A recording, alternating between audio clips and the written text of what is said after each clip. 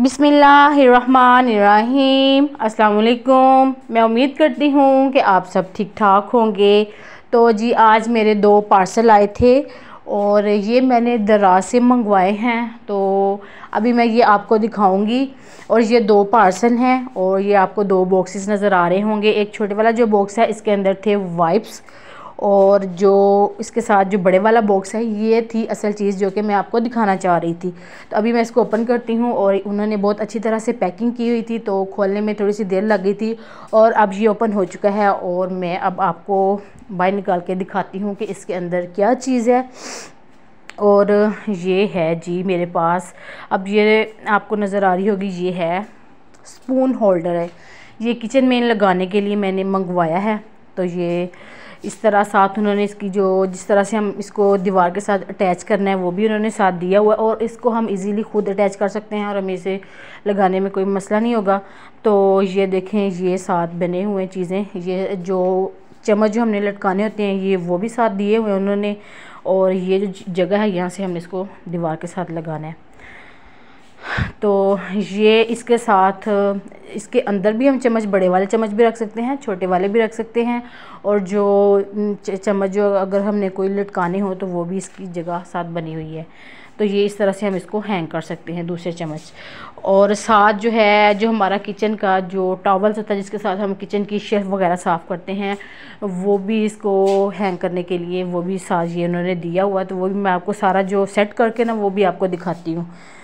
और ये देखें, ये जो चम्मच जिस, जो चम्मच हम नीचे हैंग करते हैं ना, ये वो वाले बने हुए, ये उन्होंने चार दिए थे और ये कितनी आसानी के साथ हम इसको खुद लगा सकते हैं और इस तरह से हम इसको दीवार के साथ अटैच करेंगे।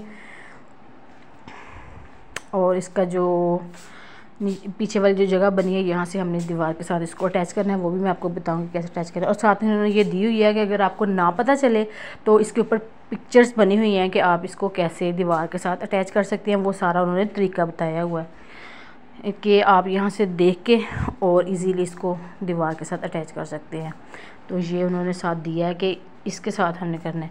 ये उन्होंने तरीका भी दिया हुआ कि कैसे कैसे करना है और ये भी बताया हुआ है कि हमने कौन कौन सी दीवार पे इसको अटैच करना है और कौन सी जगह पे ये नहीं लग सकता। तो वो भी उन्होंने यहाँ पे तफसील के साथ दिया हुआ है कि आप कौन सी दीवार पे अटैच कर सकते हैं।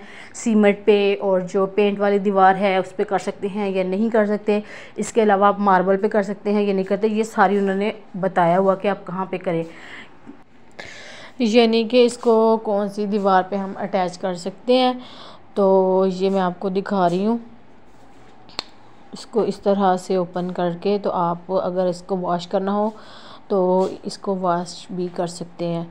तो इसको मैं बाहर निकाल के दिखाती हूँ कि इस तरह से इसको बाहर निकाल के तो इसके अंदर से स्पून निकाल के हम इसको जब दिल करे इसको साफ़ कर सकते हैं और बाद में फिर हम इसके अंदर इसको दोबारा से इसके अंदर इसको डाल के तो इसके अंदर स्पून रख सकते हैं। तो अब मैं दोबारा इसके अंदर इसको रखती हूँ और फिर जो दीवार है वहाँ पे लगा के आपको दिखाती हूँ। तो ये इसका डिज़ाइन भी काफ़ी अच्छा था, मुझे पसंद आया था डिसेंट सा। और ये देखें मैंने इसको अपनी दीवार पे लगा दिया है और इसके अंदर मैंने स्पून वगैरह भी रख दिए हैं। और ये जो किचन टावल भी मैंने रख दिया है। और ये मुझे उम्मीद है कि ये आपको पसंद आएगा। और अगर आपको पसंद आए तो आप दराज इसको ऑनलाइन ले सकते हैं। तो ये थी मेरी आज की वीडियो और मुझे उम्मीद है कि ये वीडियो आपको पसंद आई होगी। इसके साथ ही मुझे दीजिए इजाज़त। अल्लाह हाफिज़।